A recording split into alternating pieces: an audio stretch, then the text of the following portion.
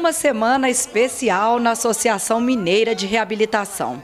O projeto Esporte Terapia recebeu um circuito de esportes radicais adaptados para pessoas com deficiências intelectuais cognitivas. E falou que tem diversão, desafios e criançada reunida, o Galo Doido já quer participar.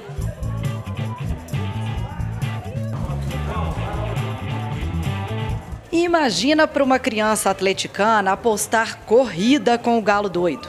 Ou escalar uma parede com o incentivo do seu mascote favorito. Um abraço, um carinho, um gesto de apoio.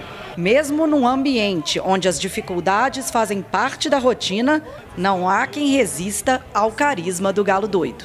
Tá feliz de ver o galo doido aqui? Demais. Já abraçou ele? Já. Qual que é seu jogador favorito do galo? A torcida. A torcida? A torcida é, é, sempre aquela animação ainda. Independente se o Galo tá jogando mal ou bem, ele. ele a torcida tem, tem uma paixão, uma, uma felicidade incrível. Nunca eu vi o Galo de verdade, então é a primeira vez que eu tive foto com ele.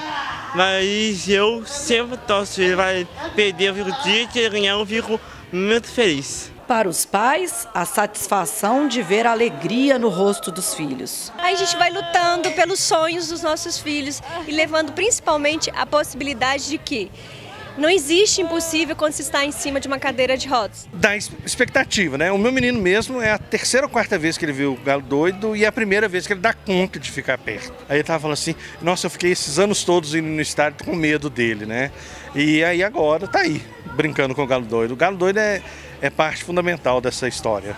E tudo aqui, ó, perfeitamente adaptado para que as crianças possam se divertir, mesmo com suas limitações, e superar as diferenças através do esporte. A gente faz adaptação não dá conta de ficar em pé, então vai com a cadeira. Por exemplo, a gente tem aquela, aquela caminha elástica. Então, com a cama elástica, a gente pula com eles para eles sentirem o movimento. A cesta é alta, a gente levanta a cadeira e eles fazem a cesta, entendeu? Então, vocês estão sempre dando apoio, sempre suporte para que eles possam. Um jeito para eles alcançarem e serem iguais a todos. E me conta, andar aqui nessa cadeira, como é que é? Difícil ou é fácil? Tem que ter muito braço, porque se é, é, depende do tipo de pessoa. Se ela for fraquinha, ela consegue ainda andar, mas ela não consegue andar com intensidade, que é o caso meu. E para despedir, um pedido que eu não tive coragem de negar.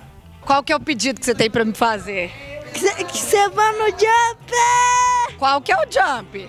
Esse daqui, ó. Aquele? Exatamente. Exatamente. Será que eu vou ter coragem? Vai. Então, já que é um pedido do João, ó, vou ter que ir.